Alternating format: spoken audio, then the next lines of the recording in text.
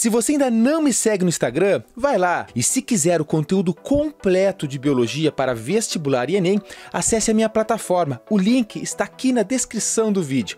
Uma boa aula!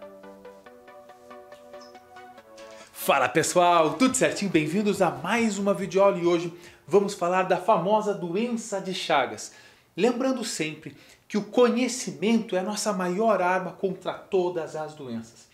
Então vamos com muita calma primeiro entender o contexto dela. Veja bem, nós temos um grande nome aqui para destacar que é o do médico Carlos Chagas. Foi ele que lá por volta de 1909 conseguiu descrever essa doença. Veja, era um médico recém-formado, foi trabalhar né, numa região onde estavam construindo trilhos e lá ele ficou tratando, né, cuidando das pessoas da comunidade. E como bom médico, bom curioso, bom pesquisador que é, ele coletava sangue de animais, fazia exame dos, dos próprios barbeiros que encontrava na casa das pessoas, sugando sangue muitas vezes, e ele descobriu um protozoário, tinha um protozoário lá. Certa vez, esse protozoário estava em todos esses ambientes que eu te disse, em alguns animais, no próprio barbeiro. Certa vez chegou uma menina de dois anos para consultar com ele, chamada Berenice. Claro, a mãe dela levou ela e falou: olha, ela está com febre baixa, está um pouco mal, está com alguns sintomas que eu vou falar mais para frente sobre quais são os sintomas, e disse que ela foi picada, foi picada por um barbeiro, por um chupanza, que é o nome.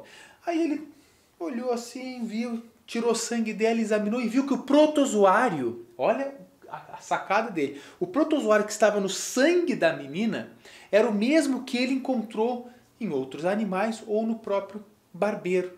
Aí ele começou a fechar o ciclo e conseguiu descrever essa doença. Então é um grande nome, a gente tem que ressaltar, porque ele é brasileiro também. Muitas vezes a gente dá muita importância para pesquisadores, para médicos de fora, mas temos aqui também no Brasil grandes nomes, certo? Aí vamos lá, com muita calma e muito amor, anota aí, gente.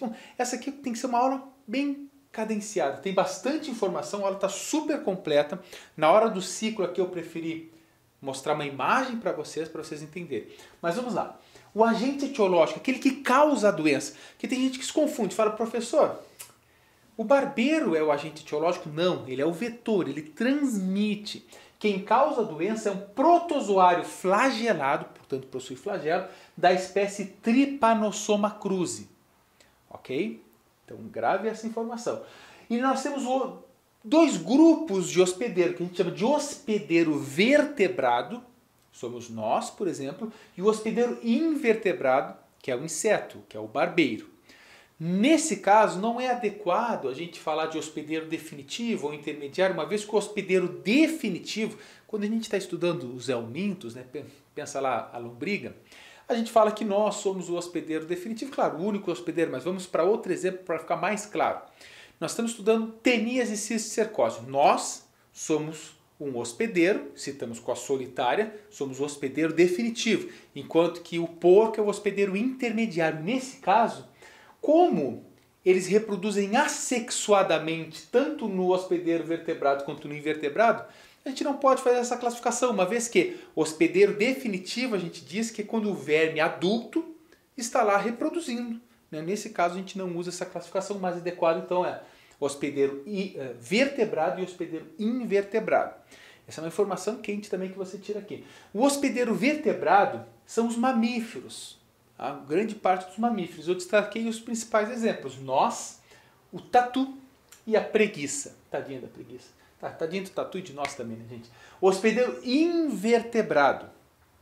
O que é invertebrado? Ah, não tem ossos, mas são os artrópodes no geral, só que né, falando do grupo deles, claro que tem outros invertebrados, mas nesse caso aqui são artrópodes do tipo inseto, conhecido como inseto barbeiro. Eu ia colocar só barbeiro aqui, a pessoa fica, ah, barbeiro, não, para o inseto barbeiro, tá? que é conhecido também como chupango ou chupanza, é um inseto grande, já vou falar dos gêneros das espécies dele, que ele literalmente, neste caso, ele é um hematófago, ele suga sangue. Porque tem barbeiros que não sugam sangue, de outros grupos, que sugam, por exemplo, lá, se alimentam de plantas e tal. Nesse caso, obviamente, ele tem que sugar o sangue para justamente entrar no ciclo, chegar a se aproximar das pessoas. Tá, então esse inseto vertebrado, esse inseto, esse inseto barbeiro é o vetor. Grava essa informação, eu vou falar tudo depois no ciclo. Aqui são as considerações gerais. Outra coisa muito importante, América Latina. Essa doença você não encontra em outras regiões, senão principalmente na América Latina, mas ela se estende até o sul dos Estados Unidos. Vai, ou seja, lá da Argentina até o sul dos Estados Unidos, predominantemente aqui na América Latina. Então é uma doença muito comum para nós, certo? E no Brasil, olha que assustador. Hoje, estima-se que aproximadamente 8 milhões de pessoas estão infectadas. É claro que na parte dos sintomas você vai ver que a maioria dessas pessoas não tem sintomas, inclusive a Berenice, que foi a primeira paciente a ser descrita com essa doença, ela morreu com quase 80 anos. Ela, ela teve infectada por mais de 70 anos com a doença de Chagas, sem nunca manifestar sintomas, exceto quando ela pegou a doença ali, que é a fase, que é a fase aguda ali vai ter mais chance de ter sintomas. Nunca desenvolveu. E, e ela morreu, ela veio a falecer na década de 80 por outras complicações que não têm relação com a doença de Chagas. Certo? Outra curiosidade sobre a doença de Chagas é que reza a lenda, isso não é comprovado, né? mas que quando Darwin passou pelo Brasil, ele teria ficado doente com a doença de Chagas e anos depois ele viria a morrer de doença de Chagas. Veja que é só uma curiosidade, alguns livros uh, trazem isso, mas não tem como comprovar. Né? Então, voltando aqui, gente, 8 milhões de infectados no Brasil. Aproximadamente, veja bem, nós temos aí, isso é que Bom, 4% da população brasileira? Põe nos comentários fiz de cabeça, pode ser que esteja completamente errado. Mas é isso aí, é, é uma população muito grande. Agora veja bem, principalmente em população carente. Isso é importante você se ligar. Por quê? Porque, gente, para que você contraia essa doença, principalmente é pela picada do inseto barbeiro e ele defeca. E a partir das fezes, a pessoa coça e transmite pelo furo da picada. Não é a picada em si. Veja bem. Mas aí tu pensa assim, imagina um barbeiro que tem esse tamanho aqui, ó. Tem esse Como é que a pessoa não vê que ele está ali, que ele vai sugar a pessoa? Primeiro, preste bem atenção. O inseto tem hábitos noturnos, então ele sai para sugar o sangue da, da, da vítima, da pessoa de noite, quando está dormindo. Outra, outra coisa muito grave, então ele está escondido. Ele não tá na... Imagina, se tu está numa casa de alvenaria que está tudo rebocadinho, pintadinho, bonitinho, tu ia ver facilmente esse inseto. Mas imagina naquelas casas de pau a pique, que muitas comunidades rurais tinham e ainda têm, esses insetos existiam aos, aos, a centenas deles, tudo escondido. As pessoas iam dormir de noite e ele vinha. E ele é chamado de barbeiro. Outra curiosidade é que ele pica normalmente na região do rosto. Ele é atraído pelo CO2. Então ele vai seguindo e essa região normalmente ele pica. Por isso que o nome é barbeira, como se ele estivesse ali fazendo a barba, né? Barbeiro. É, é, essa é a origem mesmo. Ok? Então tudo isso, aqui é só para a gente dar aquele pá. Agora nós vamos em si para as classificações deles, tá? para as coisas mais técnicas. E aí sim, o que é mais importante dessa aula, eu já vou dar o bizuque para vocês. De todas as doenças, todas. Professor, se eu tenho que aprender uma coisa, o que, que é? É isso aqui, que é a profilaxia e controle. Porque são as medidas para evitar. De nada adianta tu chegar. Imagina, ah, você vai fazer medicina. Ah, fazer medicina e depois vou para as comunidades para ajudar eles, para orientar e tal. Aí tu chega lá nas comunidades que tem qualquer doença que você vai estar tá tratando lá e chega, pessoal, o tripanossoma é um protozoário. Protozoários são organismos de uma única célula e são eucariontes. Veja bem que ele tem três formas: tripomastigota, epimastigota e amastigota. Para a população, eles vão falar, sai fora, o que, que eu quero saber com isso? Não. O que tens que fazer como, claro que você como médico, como enfermeiro, como biólogo, como, sei lá, veterinário, qualquer área da saúde, biomédico, qualquer área da saúde, você tem que, obviamente, conhecer. Porque você é o cara que tem que entender todo o ciclo. Mas para as comunidades, se você eu fosse dar uma aula assim, para uma comunidade que está tendo lá surtos de doença de Chagas, eu não ia, eu ia cortar todas as partes aqui. Eu ia ficar nessa aqui, claro, ia apresentar todos os insetos, os barbeiros, que, né, enfim, só que eu ia ficar 90% da aula aqui. É isso que a gente tem que se ligar. Para as provas, obviamente, se é a prova da tua faculdade, do teu mestrado, essa, hum, provavelmente, principalmente eles vão cobrar isso aqui. Claro, que podem cobrar, como eu disse para você, se é graduação, mestrado, coisas mais técnicas, mas isso aqui é principal. Sobretudo se tu está no ensino médio, para o Enem, para o vestibular, é isso aqui, gente. Pelo amor de Deus. Tá, mas ah, a pessoa não vai cobrar os outros? Claro que cobra, cobra até o ciclo, que eu sou contra cobrar o ciclo, mas a gente tem que saber tudo. Bom, final, falei. Olha aqui, então esse inseto, o barbeiro, basicamente são três gêneros que causam essa doença. São várias, dezenas de espécies, mas estão dentro do gênero Triatoma, Rhodilus e Panstrógelos. A principal espécie é Triatoma infestans, se tu quiser completar infestans. Tá? Essa é a principal espécie de barbeiro que transmite. Então vamos para os tipos de transmissão. Aqui o troço é muito importante, te liga. Primeiro, pelas fezes do barbeiro. Mas se as fezes do barbeiro desse inseto caem no teu braço, não há problema nenhum. Veja, quando o inseto pica, vou chegar um pouquinho mais perto, imagina que ele picou aqui. No outro lado, ele começa a sugar sangue, ele fica cheio. É quase que nem nós, né? depois de, de um almoço, às vezes dá vontade ao banheiro, né? Ele, ao mesmo tempo que está sugando sangue de um lado, do outro ele está defecando. Se esse barbeiro tiver, obviamente, com, com, o, com os parasitas dentro dele, também tem que dar parasitado, nas fezes vão sair o, esses protozoários. Bom, a pessoa se acorda e qual é o reflexo? É coçar. Quando você coça, esse tripanossoma, o, o protozoário, ele acaba penetrando pela ferida. Na pele intacta, não, mas pela ferida, sim. Olha que coisa louca. Aí a pessoa acaba ficando com ela. Então, pelas fezes do barbeiro. Transfusão sanguínea. Hoje tem controle, coisa que não tinha há 40 anos atrás, não tinha esse controle. Hoje tem um controle de transfusão sanguínea e, portanto, é muito menos comum, mas ainda pode ser. Na questão oral, pela amamentação, ou por suco de açaí, muitas vezes trituram, na hora de fazer o açaí, eles trituram o barbeiro junto com, com o suco de açaí ou com caldo de cana.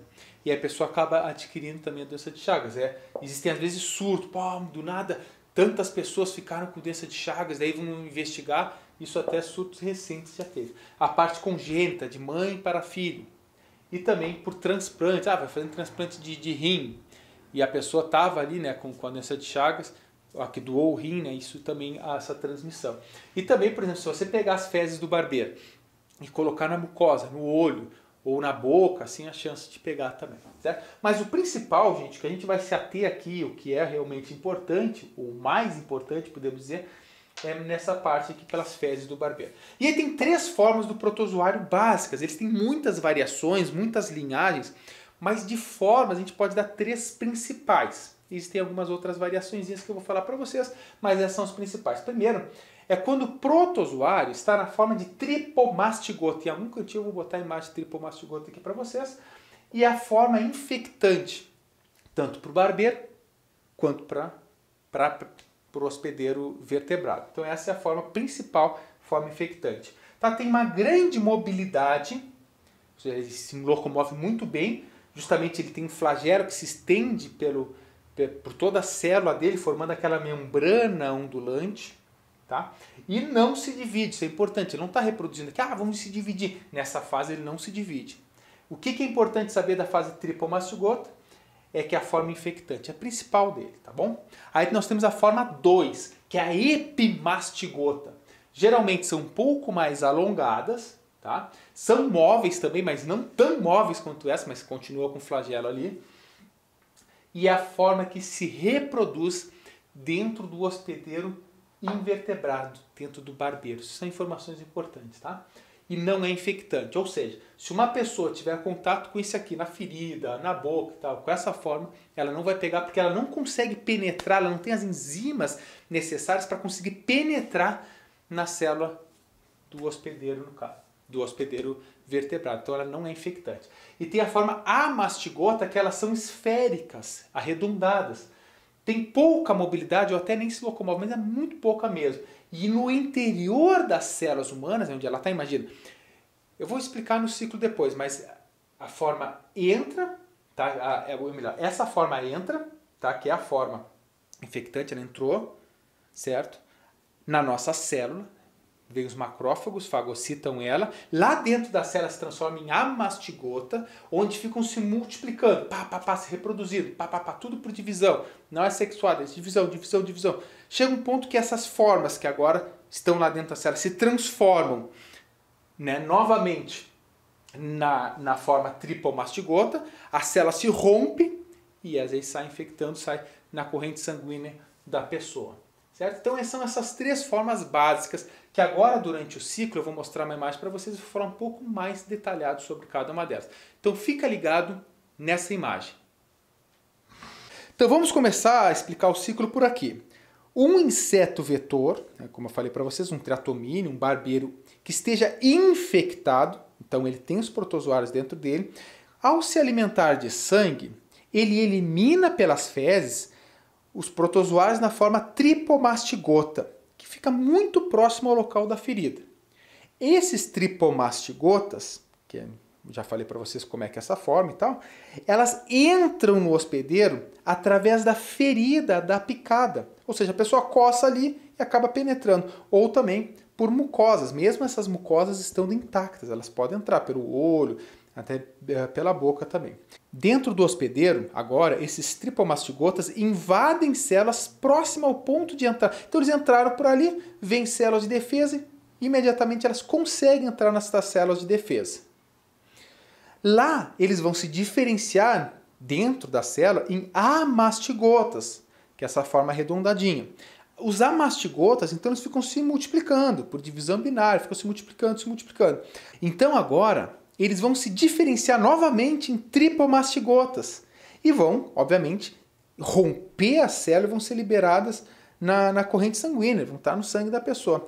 Essas tripomastigotas, que agora estão na corrente sanguínea de uma pessoa que está doente, podem infectar uma grande diversidade de tecidos. Então eles vão se espalhando pelo corpo da pessoa e lá elas vão se transformando em amastigotas novamente, porque estão dentro das células agora de outros tecidos. Antes estava só próximo à ferida, agora está em outros tecidos do corpo. Isso é um ciclo contínuo, ela fica durante muito tempo assim.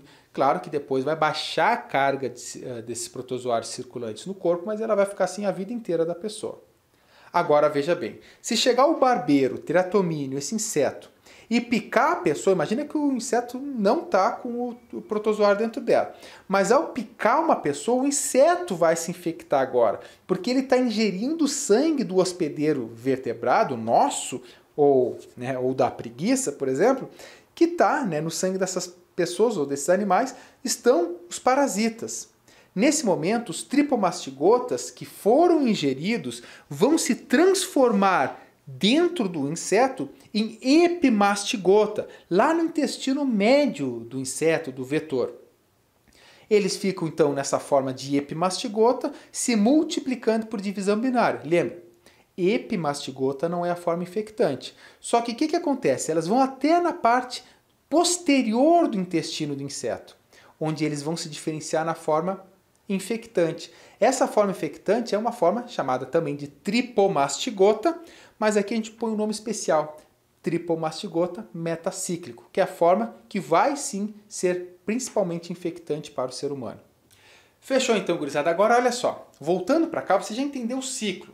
Não é tão complicado, ok? Mas nós temos que entender que uma pessoa que adquire essa doença vai ter um período até dar os primeiros sintomas, de 5 a, a duas semanas, né? de 5 dias a duas semanas mais ou menos, é, com uma média um pouco mais de 5 dias. E no início, ela tem o que a gente chama de fase aguda, no qual o protozoário se multiplica muito rápido e existem muitos desses protozoários circulando no sangue da pessoa. Essa então, olha só, número de parasitas no sangue, a fase aguda. Chega um determinado ponto que o teu corpo, o corpo da pessoa que está com essa doença, começa a produzir anticorpos e começa a diminuir drasticamente o número de protozoários no sangue. Então chega um ponto que fica muito baixo, onde a gente entra na fase crônica. Ou seja, o que é a fase crônica?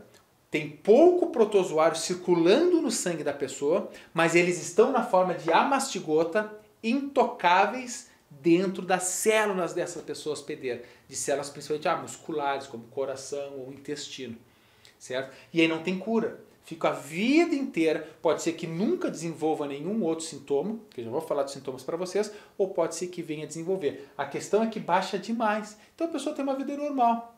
Obviamente, volto a dizer, em algumas pessoas pode desenvolver os sintomas na fase crônica depois de 20, 30, 40 anos. Certo?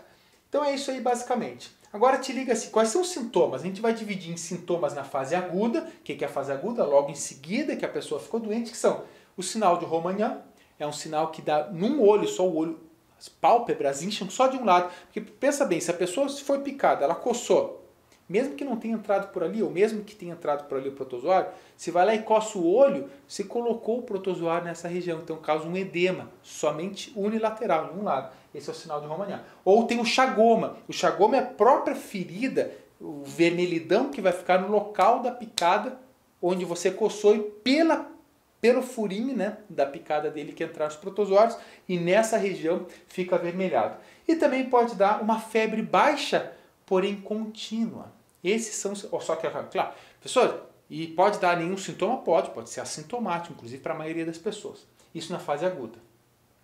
Aí vem a fase crônica. Como eu falei para vocês, pode durar a vida inteira, como foi o caso da Berenice, sem dar nenhum sintoma. Outros casos pode dar sintoma. Então nós temos três classificações principalmente a indeterminada, que a pessoa tem a vida inteira, não desenvolve nenhum sintomas, isso em 70% das pessoas que têm doença de Chagas ficam nessa forma indeterminada, ou seja, a pessoa vai morrer com 100 anos sem nunca ter desenvolvido sintomas.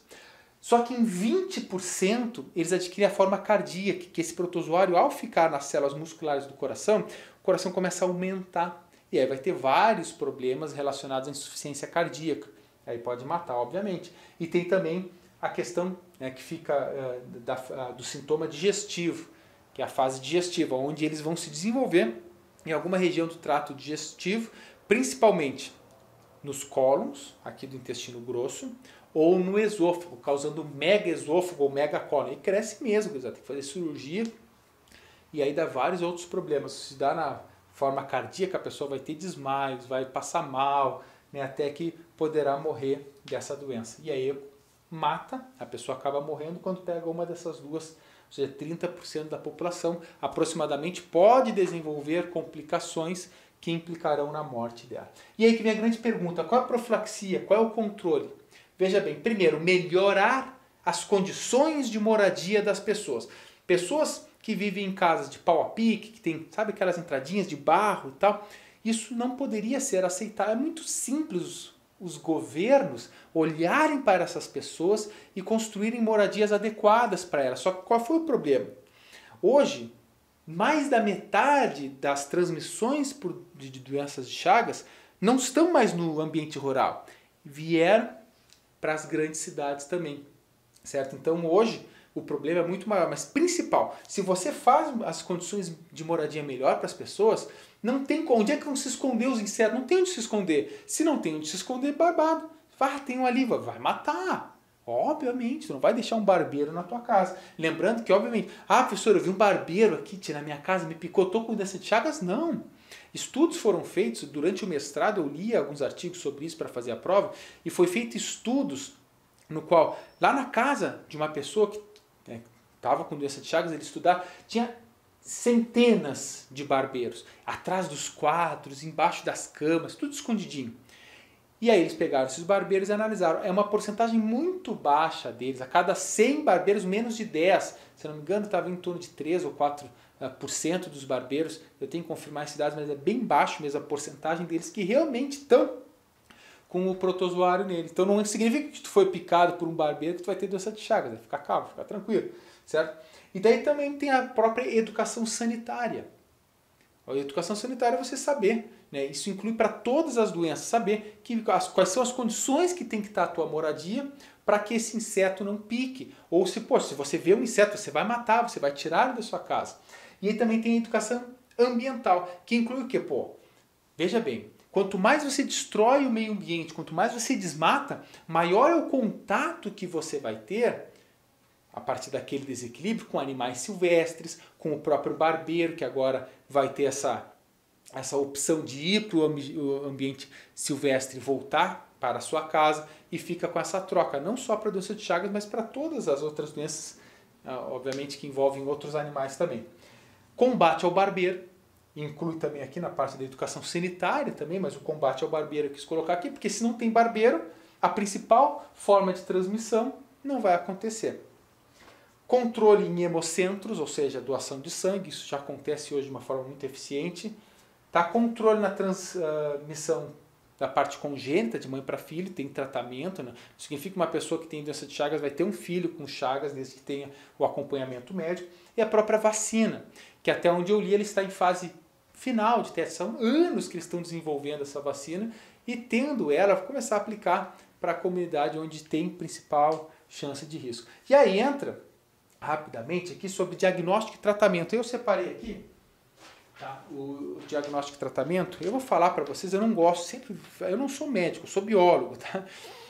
Mas algumas vezes você vai fazer uma prova na parte da saúde, eles vão te cobrar qual é o diagnóstico, qual é o tratamento, então eu vou comentar para vocês. Primeiro, o diagnóstico muito simples, como o Carlos Chagas fez antes mesmo de conhecer a, a doença, ele estava em fase de descrever, ele fez uma anamnese. Ele perguntou: Poxa, tua filha foi picada por um barbeiro, na sua casa tem barbeiro? E a partir disso ele foi desconfiante. Então o médico ele vai ver isso: Poxa, está com alguns sintomas, vamos lá.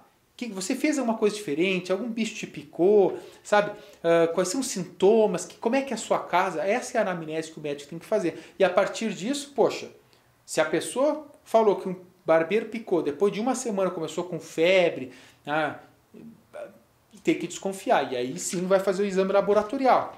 O exame laboratorial na fase aguda, um exame de sangue vai detectar o, o, o protozoário na corrente sanguínea. Ele é maior que a tua hemácia. Então ele está ali na corrente sanguínea. O problema é detectar na fase crônica. Na fase crônica tem tão pouco protozoário que às vezes fica indetectável, não é fácil. E aí entra um que é meio estranho, mas é o chamado de xenodiagnóstico que você pega um barbeiro, olha que louco, tipo, quando tá o tempo da tá, três minutos. Você pega um barbeiro, faz ele te picar, a picar a pessoa que está sendo é, testada ali, e aí vê se o barbeiro vai, depois de alguns dias, ter protozoário dentro dele. Isso é uma loucura, mas também tem. E aí tem o próprio teste feito ELISA, né, o teste ELISA, o PCR, para saber se a pessoa está com anticorpos circulando. Se você tem anticorpos contra o tripanossoma, significa que você tem o tripanossoma. E outra coisa, cura nessa fase não tem cura. Nos primeiros dois meses é possível, com medicamentos bem fortes, uh, conseguir a cura da pessoa, mas tem que ser bem no início, tá? E o tratamento é com medicamentos orais, como o benzonidazol, tá? e outros aí, só que obviamente são medicamentos que não pode tomar, ah, vou na farmácia, né? Agora, ah, o professor falou, não, tem que ter sempre a indicação médica, ok? E pessoal, assim, ó, a linha que eu queria que fosse mais curta aí foi bem longa, mas é isso aí, gente, é isso aí. Tá? É muita informação, poderia, a gente poderia estar aqui tomando um chimarrão, conversando sobre isso, que teria muito mais para falar, é um assunto muito curioso e, sobretudo, que acontece no nosso país, na América Latina também. Certo? Então, vamos conhecer, vamos estudar e sempre estamos uh, juntos. É isso aí, gurizada. Estou pensando se eu me esqueci de mais alguma coisa, mas eu acho que não. Então é isso. Muita força, muita fé muito foco, que tudo vai dar certo, tudo, tudo vai dar certo. No final tudo dá certo. E a gente terá muitas histórias bonitas para contar. Beijo no coração e até mais. Tchau, tchau.